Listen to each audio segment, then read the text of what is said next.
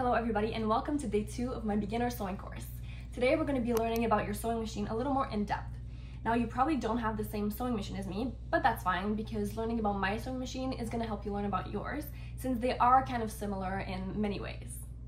If you're still having problems with your sewing machine after this, um, just write down below the name of your machine and what the problem is and I'm gonna do some research on my own, try to see what I can find to help you or even refer you to a video if that can help. But don't worry, if you've had this problem, odds are someone before you has had that problem too and someone made a video on YouTube about it. So in this video, we're gonna be learning about what your sewing machine can do, different types of needles, uh, different types of presser feet, and what to do if fabric ever gets stuck in your sewing machine, which is a pain in the ass. but it's usually pretty easy to fix. All right, then let's get into it. All right. Oh shit. My cat's eating my cord.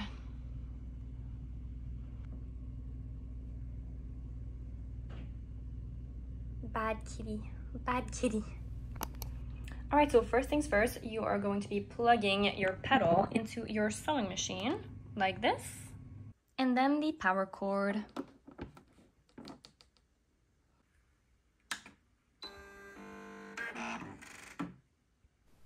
On the side of the machine, you're always going to have a hand wheel, and when you turn it, make sure it is towards you.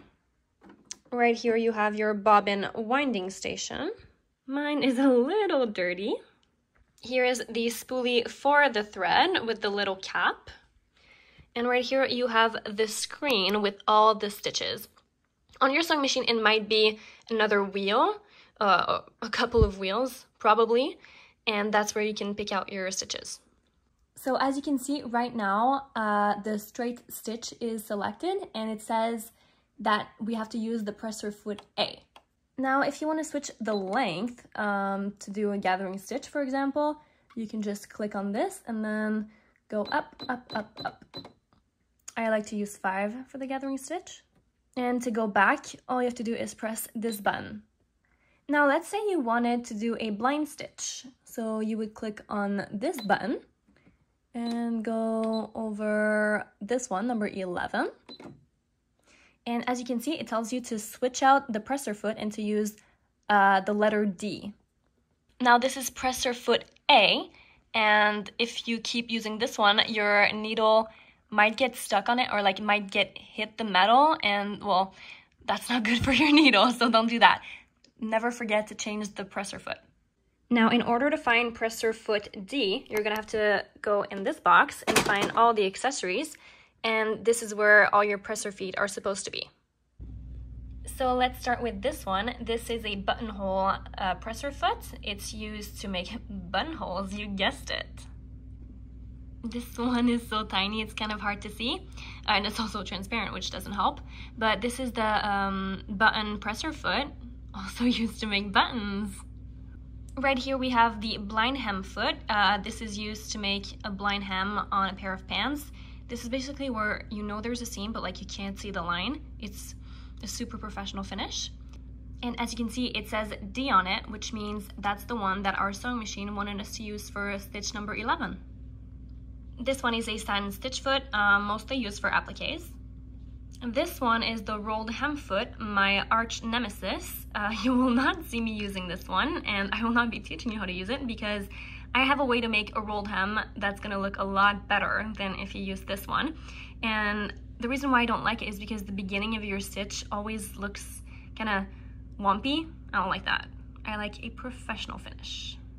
This one you might like. It is the overcasting foot. It helps you make an overcast stitch and it just makes your edges look more professional and I guess you could use this instead of a serger if you don't have one. In your accessories tray, you will also find your needles. These are the ones that I have. Depending on the fabric you're using, you might want to switch needles. There are two types of needles, regular point needles and ball point needles. Regular point needles are used for all woven fabrics because the needle will penetrate the fabric threads of the woven fabric. And ballpoint needles are used for sewing knits. The rounded tip is going to pass between the fabric threads by separating them.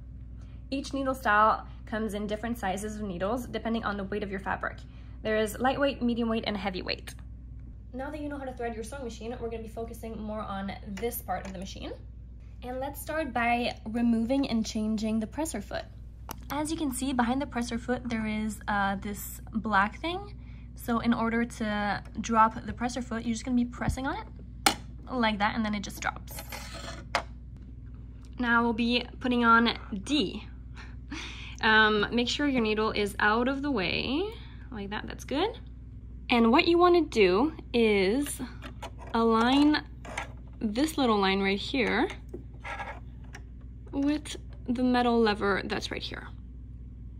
This side view makes it a little easier to see what I mean, so just make sure it's really well aligned. And now all that you have to do is just drop this lever right here, the presser foot lever, like that, and then you just put it down. So while you're putting it down, hold this and keep trying to align it because it might not work on the first try. Okay, like here it didn't really work, so I'm just gonna move it around. Oh, and there we go. Did you hear that sound? That's when you know it's up. There you go, that easy. Now though, we're gonna be learning how to switch the needle. So first step is to get rid of the presser foot. So you touch that black lever in the back again, it just drops and you move it out of the way. Now get a piece of scrap fabric and put it right here just because we don't want our needle to fall in that hole. Oh God, that's like my worst nightmare. Don't let that happen to you. And now you're gonna reach uh, the screwdriver that's in your accessories.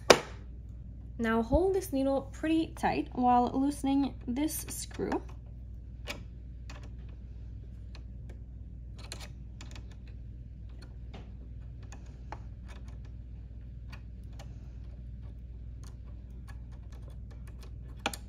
I'll just use my finger.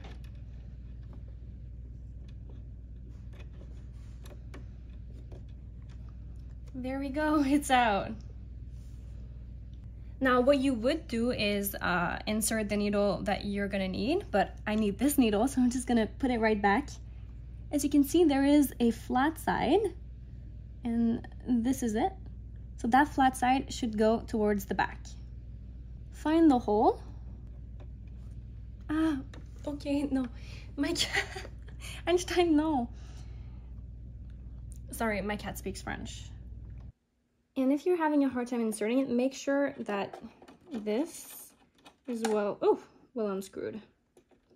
Not that much though. This should be good. Okay, and as you can see, it goes up.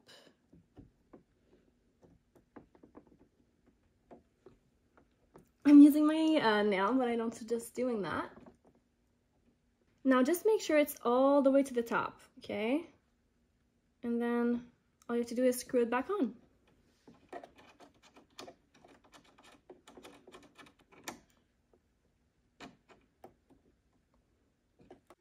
So this should not be able to move just with your fingers. Then you know it's tight enough.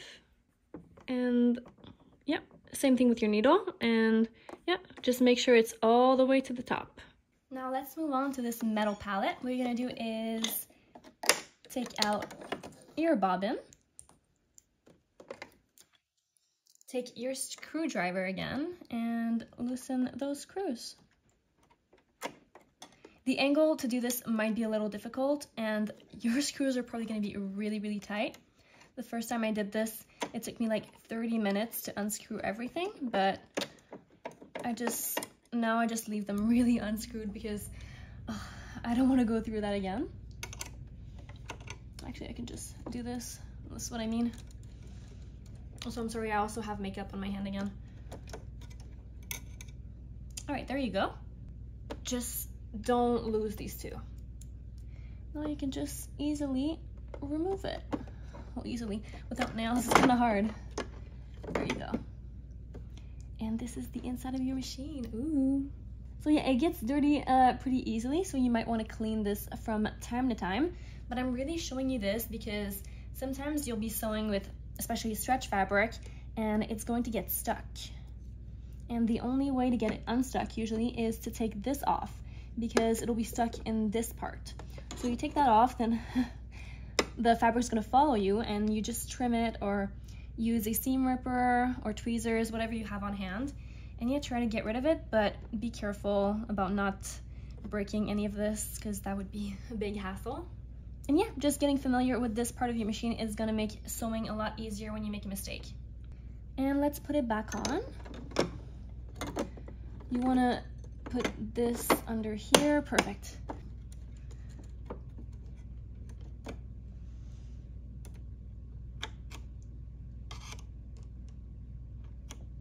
That's enough for me.